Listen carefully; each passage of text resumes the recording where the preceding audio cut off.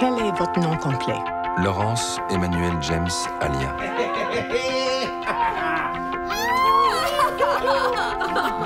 I love you! Proust explique beaucoup pour mon goût. 300 pages pour nous faire comprendre que Tutur encule ta tave, c'est trop. Félicitations, Laurent.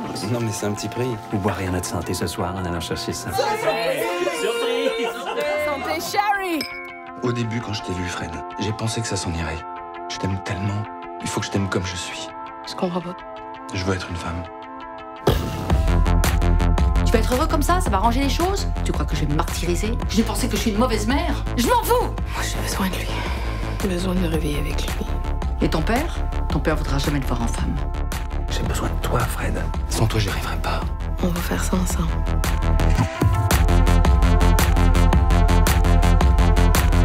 Je vous ai pas vu rentrer ce matin, c'est. euh,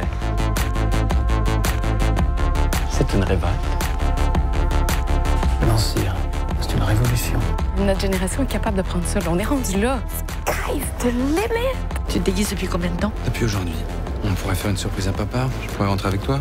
C'est quoi le commentaire que t'entends le plus souvent? C'est spécial.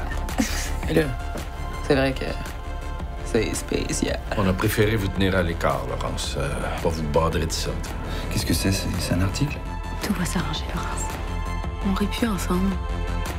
T'as un look, toi, Chris. Oui, allô, maman. C'est moi, c'est Laurence. On pourrait peut-être aller prendre une marche. Parce que ça va pas, maman. C'est important. C'est important. J'ai jamais eu l'impression que t'étais ma mère. Mais moi, j'ai jamais eu l'impression que t'étais mon fils. Par contre, j'ai l'impression que t'es ma fille.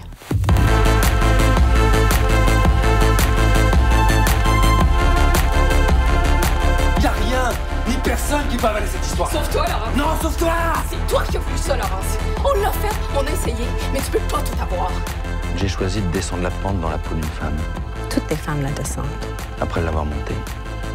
T'as-tu déjà acheté une perruque pour ton chum, toi? T'as-tu déjà eu peur quand tu sors de chez vous qu'il se fasse tabasser dans la rue puis qu'il te revienne pas en un morceau?